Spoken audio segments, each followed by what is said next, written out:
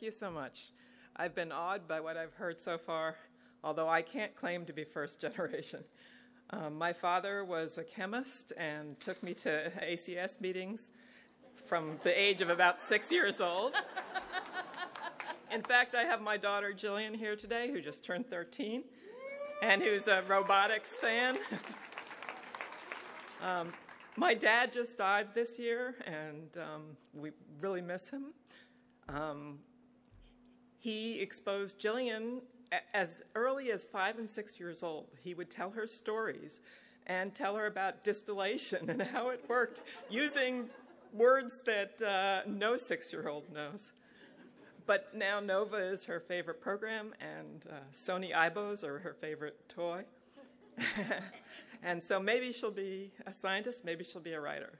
Um, but I've benefited from uh, all of his input, and um, I thank him tonight.